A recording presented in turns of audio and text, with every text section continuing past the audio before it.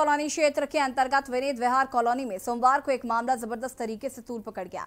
Gate बंद colony के पीछे एक खेत होने के कारण उसको रास्ता नहीं मिल रहा था, जिस पर एक दीवार गिराने का ऑर्डर सिटी मजिस्ट्रेट की तरफ़ से किया गया था और पूर्व से ही इसका मामला कोर्ट में लंबित है।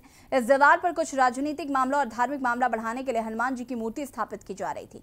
तभी पीड़ित पक्ष ने पुलिस को सूचना दी, जिसके बाद पुलिस से कार्रवाई करते हुए वहाँ पर मूर्ति स्थापना को रुकवाया। मूर्ति को पुलिस उठाकर ले गई, साथ ही विवाद बढ़ाने वाले तीन लोगों को भी पुलिस ने गिरफ़्तार किया। तभी हिंदू सेवा समिति के कुछ लोगों ने पहुंचकर थाना फ्रेंड्स कॉलोनी का घेराव किया और हंगामा काटा।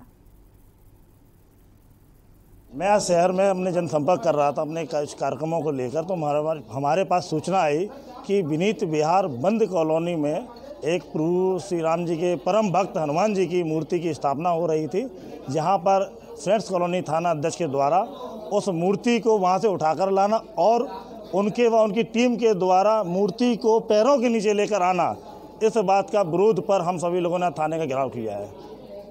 आप देख लीजिए, आज योगी और मोदी की सरकार है और हनुमान जी के लिए उन्होंने पैरों का मतलब मूर्ति नीचे, पैर ऊपर इस तरह से लेकर आए। ये बहुत ही निंदनीय है और हम सभी लोग इस बात की निंदा करते हैं। लेकिन अभी तक थाना अध्यक्ष महोदय के द्वारा वो सिपाही जो प्रभु हनुमान जी के ऊपर लात रखकर आए थे, ना वो अभी सामने आए, ना पर उन पर अभी कार्रवाई की गई। शुक्ला नाम के व्यक्ति ने 112 पर सूचना दी थी कि एक बंद कॉलोनी है, जिसकी एक दीवार विवादित है और एक खेत है, जिसके लिए कोई रास्ता नहीं है।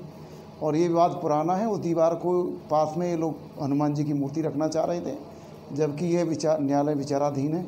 और इस पर सिटी मजिस्ट्रेट महोदय के द्वारा भी इस दीवार को गिराने का आदेश पूर्व में ही पारित किया जा चुका है।